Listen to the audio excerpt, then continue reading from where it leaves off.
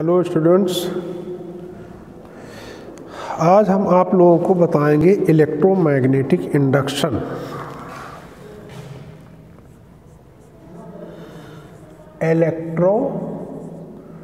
electromagnetic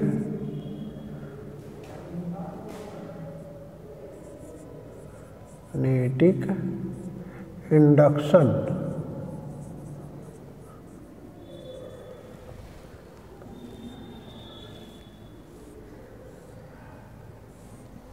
ठीक electromagnetic induction में अभी आप देखिए पीछे आप लोगों ने जो पढ़ा था उसमें क्या था कि देखिए यहाँ पर इलेक्ट्रिक फील्ड वहाँ पर लिए थे और इलेक्ट्रिक फील्ड के परपेंडिकुलर आप करंट कैरिंग वायर ले लिए थे और जब इस करंट कैरिंग वायर को आप मूव कराते थे ठीक है सॉरी यहाँ पर आप इलेक्ट्रिक फील्ड लेते थे उसमें करंट कैरिंग वायर लेते थे तो यह मैग्नेटिक फील्ड इस करंट कैरिंग वायर पर फोर्स अप्लाई करता था फोर्स लगाता था ठीक है तो यहाँ पर यह सोचा गया कि अगर मैग्नेटिक फील्ड लिया जाए करंट कैरिंग वायर लिया जाए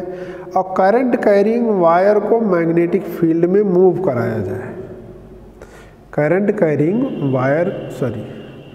wire को करंट कैरिंग वायर को नहीं वायर को इस वायर को केवल वायर लिया गया वायर को इस मैग्नेटिक फील्ड में मूव कराया जाए ठीक है यानी इस वायर पर हम लोग फोर्स लगा रहे हैं और वो फोर्स मैग्नेटिक फील्ड के परपेंडिकुलर है परपेंडिकुलर फोर्स फिर से आप सुन लीजिए मैग्नेटिक फील्ड लिया गया उसमें एक वायर रखा गया और वायर को मूव कराया गया तो यह मिला कि जब वायर को हम मैग्नेटिक फील्ड के परपेंडिकुलर मूव कराते हैं तो इस वायर में एक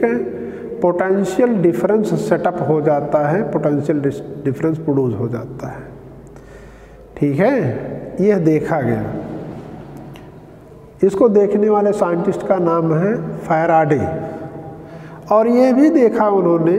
कि अगर मान लीजिए एक वायर रख दी मैग्नेटिक फील्ड लिए लेकिन मैग्नेटिक फील्ड चेंजेबल यानी वेरिएबल यानी जो मैग्नेटिक फील्ड कंटिन्यूसली चेंज हो रहा है तो ये चेंज्ड मैग्नेटिक फील्ड जो मैग्नेटिक फील्ड कंटिन्यूसली चेंज हो रहा है वो भी इस वायर में पोटेंशियल डिफरेंस सेटअप कर देता है ठीक है और इस प्रोसेस को उन्होंने नाम दिया था इलेक्ट्रोमैग्नेटिक इंडक्शन आप यहाँ पर देखिए बुक में लिखा गया है let now let us imagine a situation in which a conductor is moving inside magnetic field or a magnetic field is changing around a fixed conductor what will happen this was first studied by the english physicist hmm, michael faraday michael faraday made an important breakthrough breakthrough by discovering how moving magnet can be use to generate electric current ठीक है यहाँ पर electric current generate होता है और कैसे generate होता है वो इन्होंने पूरी तरीके से बताया फिर से आप सुन लीजिए इलेक्ट्रोमैग्नेटिक इंडक्शन है क्या चीज़ इलेक्ट्रोमैग्नेटिक इंडक्शन अभी डिफिनेशन हम लिखवाएंगे नहीं जब लिखने के लिए कहेंगे तब आप लिखिएगा पहले इसको आप समझिए कि आप एक मैग्नेटिक फील्ड लेते हैं मैग्नेटिक फील्ड के परपेंडिकुलर आप एक कंडक्टर रख देते हैं उसी मैग्नेटिक फील्ड में और इस कंडक्टर को इस मैग्नेटिक फील्ड में मूव कराया जाए मैग्नेटिक फील्ड के परपेंडिकुलर तो यह देखा जाता है कि इस कंडक्टर में पोटेंशियल डिफरेंस सेटअप हो जाता है ठीक है और दूसरा एक काम और भी कर सकते हैं कि यहाँ पर कंडक्टर लिए magnetic field changing magnetic field यानी जो मैग्नेटिक फील्ड कंटिन्यूसली चेंज हो रहा है यहाँ पर जो मैग्नेटिक फील्ड लिया गया है वो चेंजिंग मैग्नेटिक फील्ड हो तो भी इस वायर के अंदर पोटेंशियल डिफरेंस सेटअप हो जाता है ठीक है ये लिया गया इस पर एक्सपेरिमेंट माइकल फैराडे ने किया था और माइकल फैराडे ने जो जो ऑब्जर्वेशन पाया था उस ऑब्जर्वेशन को उस ऑब्जर्वेशन को हम पहले बताएंगे इसके बाद देखिए आपको गैलनोमीटर के बारे में जानना चाहिए गैलवनोमीटर क्या होता है गैलोनोमीटर एक इंस्ट्रूमेंट है जानते हैं जो करंट सर्किट में करंट को मेजर करने के लिए इसका इस्तेमाल करते हैं देखिए गलोनोमीटर में लिखा गया है a galvanometer is an instrument that can detect the presence of a current in circuit galvanometer एक ऐसा डिवाइस है एक ऐसा इंस्ट्रूमेंट है जो सर्किट में प्रेजेंट करंट को दिखाता है ठीक है अमीटर भी तो करंट को दिखाता है ठीक है गैलोमीटर भी करंट को दिखाता है दोनों में अंतर क्या है अमीटर और गैलोमीटर में डिफरेंस ये होता है कि जो गैलोमीटर लिया जाता है उस गैलोमीटर में अगर आप देखेंगे तो जो पॉइंटर होता है वो यहाँ सेंटर पर रहता है यहाँ रहता है हमेशा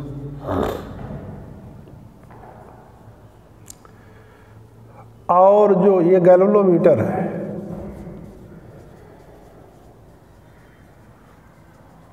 और अगर आप एमीटर लेंगे तो एमीटर में जो पॉइंटर होता है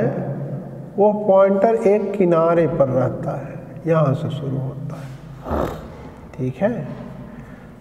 अब जब इसमें करंट फ्लो होगा तो ये करंट के को मेजर कर देगा रीडिंग दे देगा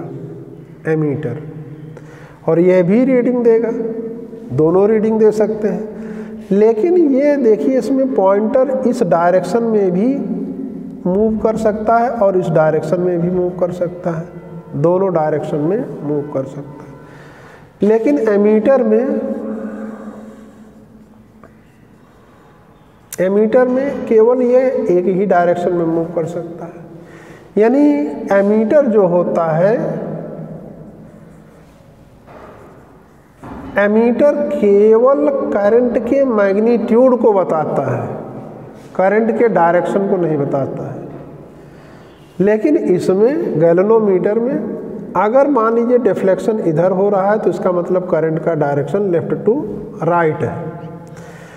और अगर डिफ्लेक्शन इधर यानी पॉइंटर अगर इधर जा रहा है तो समझ लेना करंट राइट से लेफ्ट की ओर है यानी ये करंट के मैग्नीट्यूड के साथ साथ करंट के डायरेक्शन को भी बताता है लेकिन जो अमीटर होता है वो केवल करंट के मैग्नीट्यूड को बताता है करंट के डायरेक्शन को नहीं बताता है ठीक है तो यहाँ पर इलेक्ट्रोमैग्नेटिक इंडक्शन में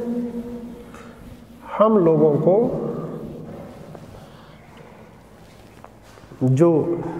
लिखना है वो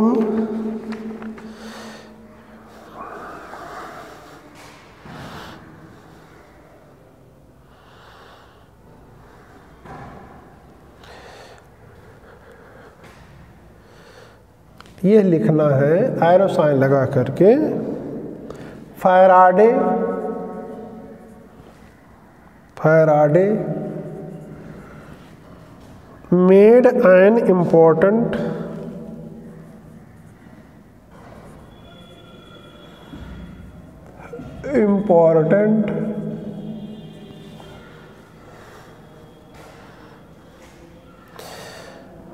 breakthrough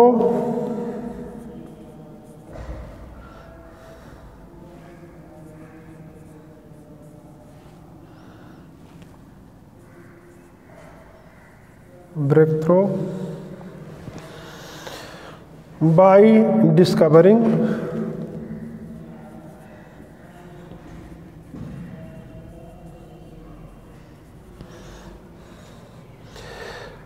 how a moving magnet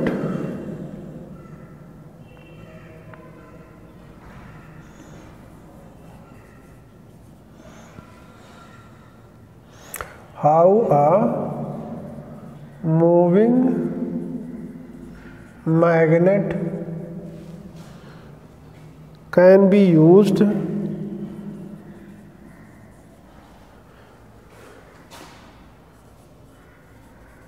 used to generate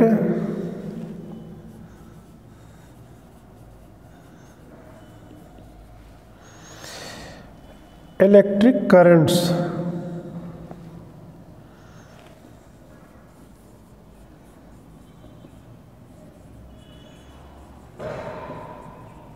ये देखिए ये आप लिखेंगे अब इसके बाद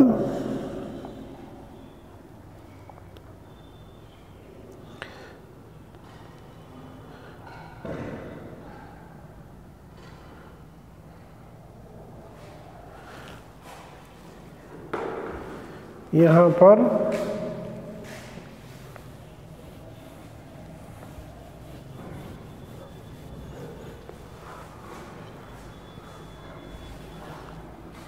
देखेंगे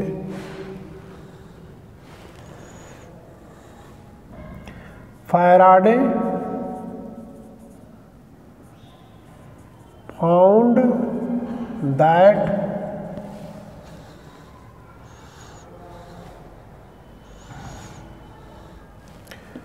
the motion of motion of a magnet with magnet with respect to the coil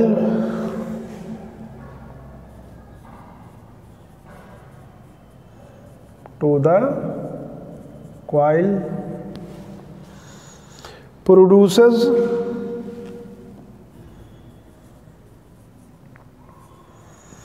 produces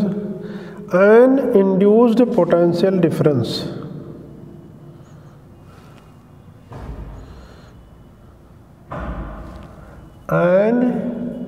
induced potential difference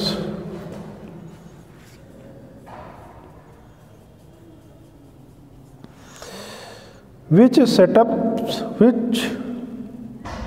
which sets up an induced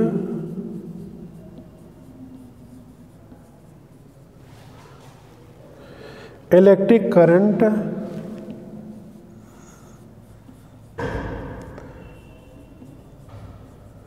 current in the circuit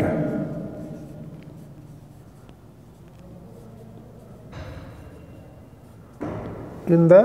circuit ठीक है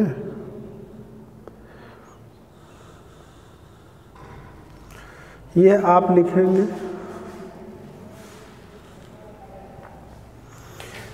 अब इसके बाद आप लिखेंगे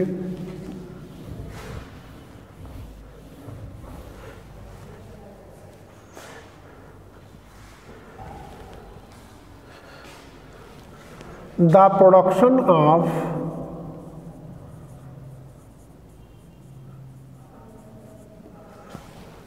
of induced potential difference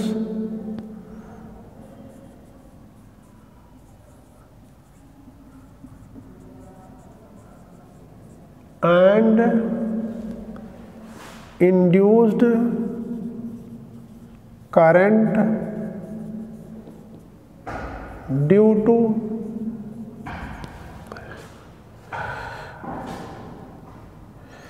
relative motion between coil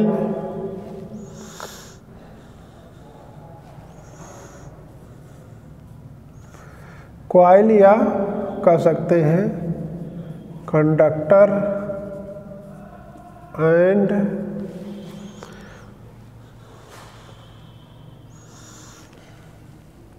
magnetic field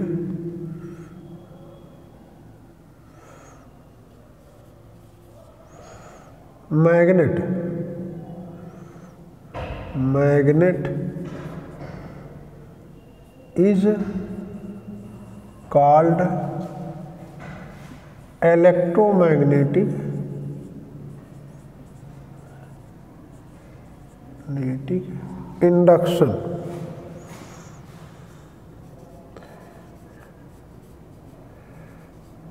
ये electromagnetic induction है ठीक है इलेक्ट्रोमैग्नेटिक इंडक्शन का आप डिफिनेशन अभी आप लिखे हैं इसमें फैराडे ने जो एक्टिविटी फैराडे की जो का जो एक्सपेरिमेंट था अब हम आप लोगों को फैराडे का एक्सपेरिमेंट बताएंगे लेकिन यहाँ पर इलेक्ट्रोमैग्नेटिक इंडक्शन क्या होता है देखिए आप एक मैग्नेट लेते हैं और एक आप क्वाइल ले लीजिए या कोई कंडक्टर ले लीजिए और दोनों के बीच में रिलेटिव मोशन हो यानी अगर मैग्नेट फिक्स हो तो क्वाइल मूव करे